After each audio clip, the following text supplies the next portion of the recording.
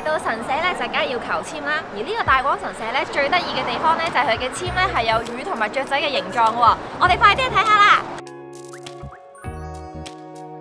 平时嘅我咧就应该会求姻缘噶啦，不过见佢哋咁得意咧，就等我嚟试下钓呢个三文鱼先。得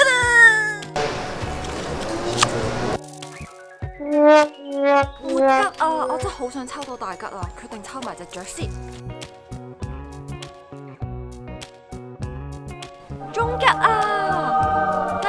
再嚟抽埋姻缘啊！